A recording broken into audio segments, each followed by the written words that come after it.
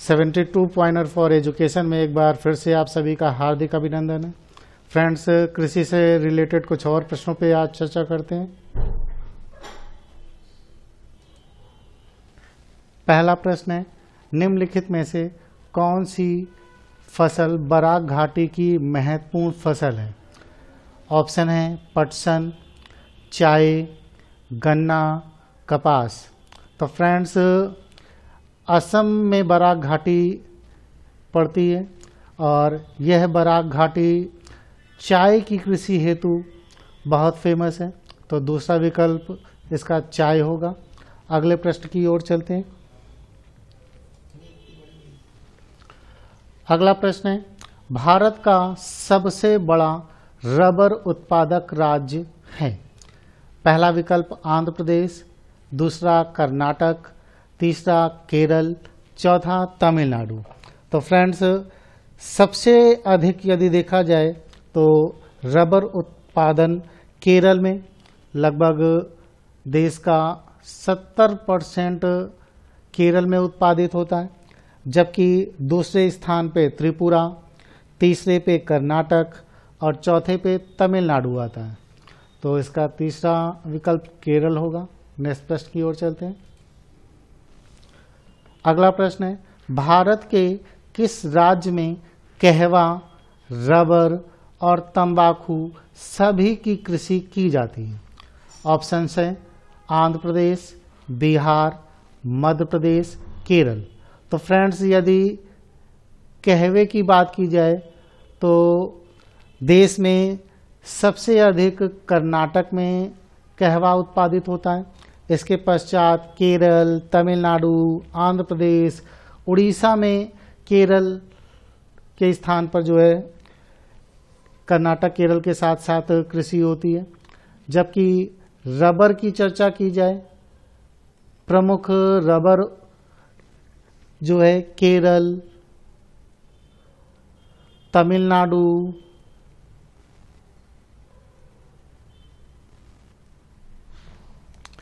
कर्नाटक, त्रिपुरा कर्नाटक, त्रिपुरा, असम में होती है। और तंबाकू की यदि चर्चा की जाए तो कर्नाटक, बिहार, उत्तर प्रदेश महाराष्ट्र राज्यों में की जाती है। तो सब में यदि देखा जाए तो कर्नाटक कॉमन है। तो यदि देखा जाए तो इसका आंसर होगा कर्नाटक, जो विकल्प में नहीं दे रखा गया है। तो कर्नाटक का आंसर होगा। अगले प्रश्न की ओर चलते हैं। अगला प्रश्न है, भारत में बागानी कृषि के अंतर्गत उगाई जाने वाली मुख्य फ़सल है। चाय, रबर, नारियल, कहवा, दूसरा विकल्प है चाय, रबर सूर्यमुखी सोयाबीन। देखा जाए तो ये बागानी फ़सलें नहीं हैं। चाय, केला, अंगूर तो इसमें भी बागानी फ़सलें नहीं हैं। नारियल है जबकि चाय है। चौथा, चाय, रबर, नारियल, बागानी फ़सल, सोयाबीन नहीं है।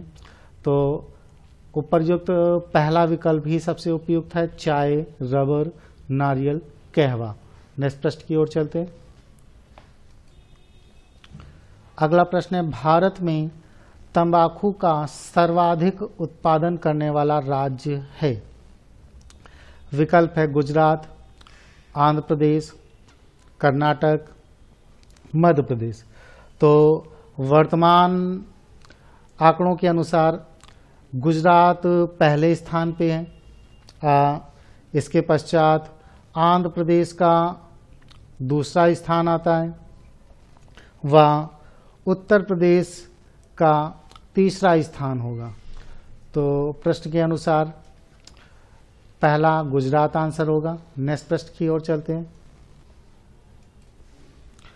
अगला प्रश्न है, भारत में नारियल का सबसे बड़ा उत्पादक राज्य है आंध्र प्रदेश, कर्नाटक, केरल, तमिलनाडु। तो यदि फ्रेंड्स, बात की जाए केरल की तो केरल में लगभग तीस दशमलव पाँच ज़ीरो परसेंट नारियल का उत्पादन होता है, जबकि कर्नाटक में सत्ताईस दशमलव सात चार परसेंट नारियल का उत्पादन होता है और तमिलनाडु में चौबीस दशमलव आठ पाँच परसेंट नारियल का उत्पादन होता है। तो सर्वाधिक नारियल का उत्पादन केरल राज्य में किया जाता है, लगभग तीस दशमलव पाँच ज़ीरो परसेंट। प्रश्न की ओर चलते हैं।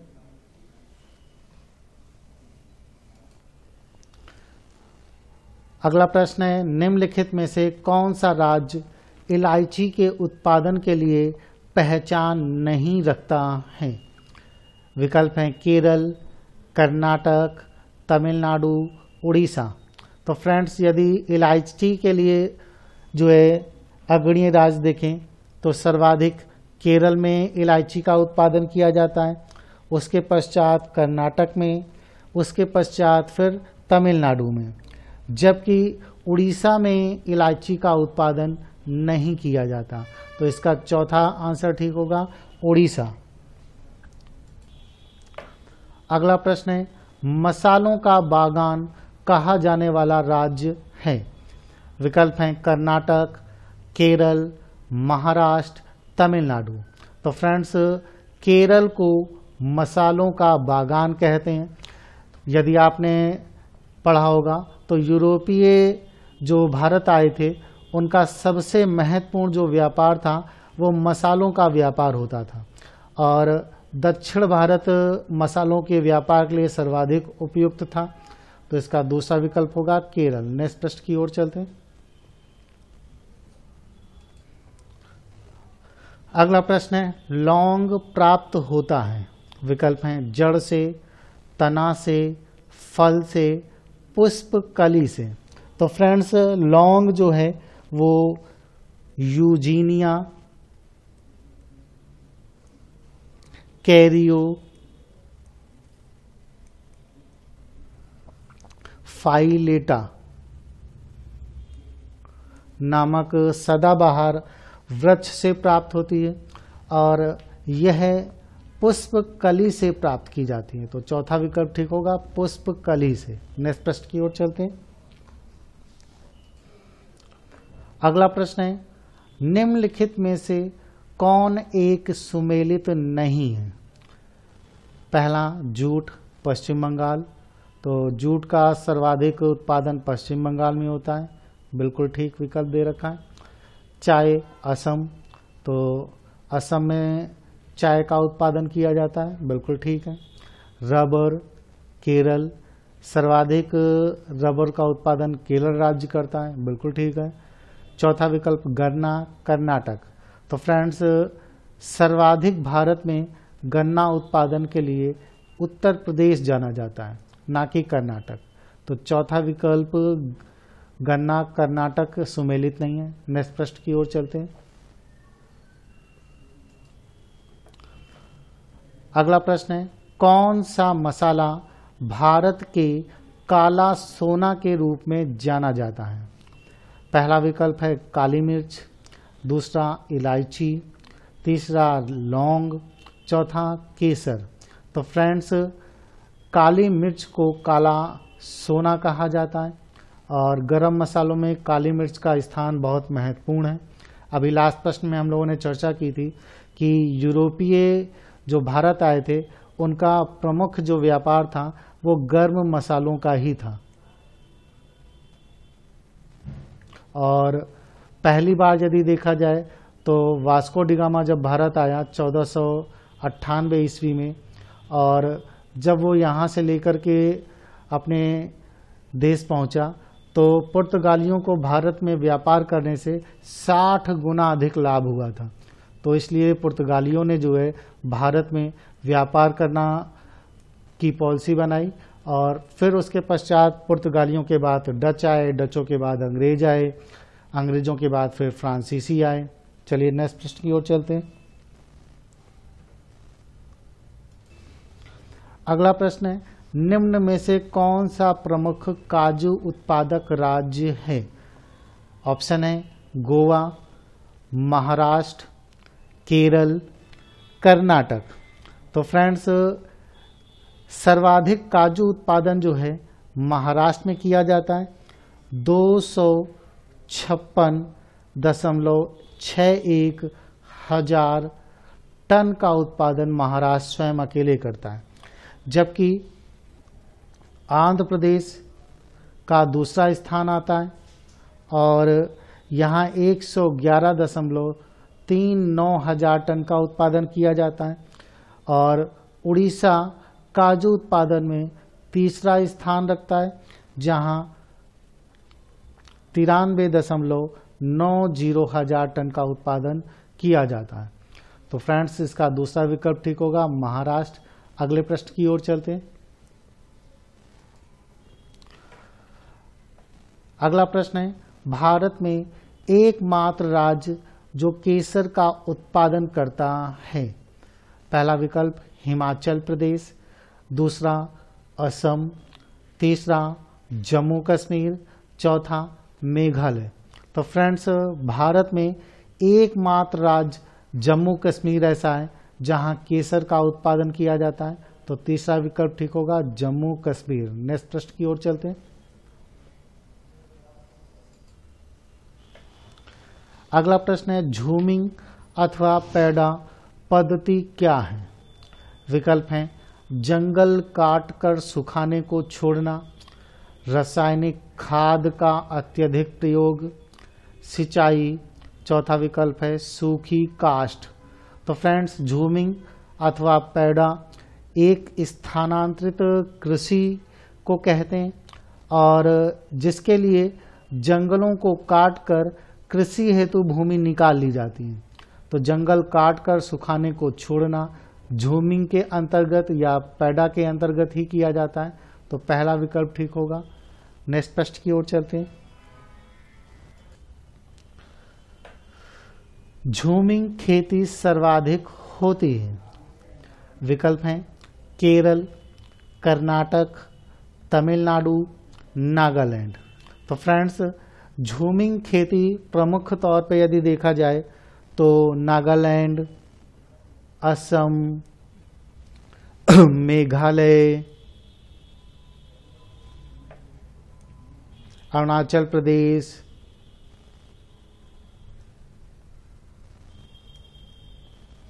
इत्यादि राज्यों में की जाती है। तो इसका चौथा विकल्प नागालैंड उपयुक्त होगा। नेक्स्ट प्रश्न की ओर चलते हैं। अगला प्रश्न है, निम्नलिखित में से कौन एक सुमेलित नहीं है? पहला विकल्प है पश्चिमी घाट, कुमारी। दूसरा, दक्षिण पूर्वी राजस्थान। वालतरे। वालतरे को फ्रेंड्स आप वात्रा भी कह सकते हैं। और कुमारी, वात्रा, वालतरे, ये झूमिंग की तरीके ही एक स्थानांतरित कृषि को अलग अलग क्षेत्रों में पुकारा जाता है। पश्चिमी घाट में इसे कुमारी कहते हैं दक्षिण पूर्वी राजस्थान में वालतरे या वात्रा कहते हैं। उत्तर पूर्वी भारत, झूम। तो झूम भी एक स्थानांतरित कृषि है। तो चौथा विकल्प सभी सुमेलित दे रखा है तो इसका चौथा विकल्प ठीक होगा। या कुछ और क्षेत्रों में यदि फ्रेंड्स देखें, जैसे एमपी हो गया और आपका छत्तीसगढ़ हो गया। एमपी और छत्तीसगढ़ में इस प्रकार की खेती को दाहिया कहते हैं, या दाहिया के स्थान पे आप लोग बेवार भी कह सकते हैं, बहुत यूज़ होता है। या यहाँ पे स्थानीय भाषा में इसे डिप्पा भी कहा जाता है। तो एमपी और छत्तीसगढ़ की स्थानांतरित जो खेती है, उसे डाइया, बेवार या डिप्पा कहते हैं। जैसे उड़ीसा की चर्चा की जाए तो उड़ीसा में इसे डाबी या पोड़ू या स्थानीय भाषा में कोमन या कहीं कहीं ब्रंगा भी कहा जाता है। तो अगले प्रश्न की ओर चलते हैं। अगला प्रश्न है, राष्ट्रीय केला अनुसंधान केंद्र स्थित है। विकल्प हैं त्रिची, भुसावल, सहारनपुर, पुणे। तो फ्रेंड्स, राष्ट्रीय केला अनुसंधान केंद्र उन्नीस में त्रिची में स्थापित किया गया था। तो इसका पहला आंसर होगा त्रिची। नेक्स्ट प्रश्न की ओर चलते हैं। अगला प्रश्न है, भारत का वह राज्य जो खाद्यान्न उत्पादन में अधिकतम अंशदान करता है? विकल्प हैं, तमिलनाडु मध्य प्रदेश राजस्थान, उत्तर प्रदेश। तो फ्रेंड्स, यदि देखा जाए उत्तर प्रदेश में सर्वाधिक खाद्यान्न उत्पादन होता है, जो सोलह दशमलव आठ एक परसेंट है। जबकि इसके पश्चात पंजाब में सर्वाधिक खाद्यान्न उत्पादन होता है, दस दशमलव आठ सात परसेंट। इसके पश्चात मध्य प्रदेश में सर्वाधिक खाद्यान्न उत्पादन होता है, दस दशमलव ज़ीरो नौ परसेंट। तो उत्तर प्रदेश नंबर एक, पंजाब का दूसरा स्थान व एमपी तीसरा स्थान रखता है। तो इसमें चौथा विकल्प उत्तर प्रदेश ठीक होगा। नेक्स्ट प्रश्न की ओर चलते हैं। अगला प्रश्न है, भारत का वह राज्य जो कपास, मूंगफली, नमक एवं दूध के उत्पादन में प्रथम स्थान है? विकल्प हैं महाराष्ट्र, पंजाब, राजस्थान गुजरात। तो फ्रेंड्स, यदि देखा जाए, कपास और मूंगफली के लिए काली मिट्टी उपयुक्त होती है। काली मिट्टी का सर्वाधिक परसेंटेज महाराष्ट्र में है और दूसरे स्थान पे गुजरात में है। तो कपास के लिए सर्वाधिक जाना जाता है महाराष्ट्र। लेकिन कपास और मूंगफली दोनों की यदि बात की जाएगी तो गुजरात आएगा। और उसके साथ साथ नमक दे रखा है। तो गुजराती तटीय क्षेत्रों में नमक का उत्पादन बहुत अच्छा होता है और दुग्ध का उत्पादन पूछा है तो गुजरात में दुग्ध का भी उत्पादन बहुत बेहतर होता है, नंबर एक पर। तो इसका चौथा विकल्प होगा गुजरात। नेक्स्ट प्रश्न की ओर चलते हैं।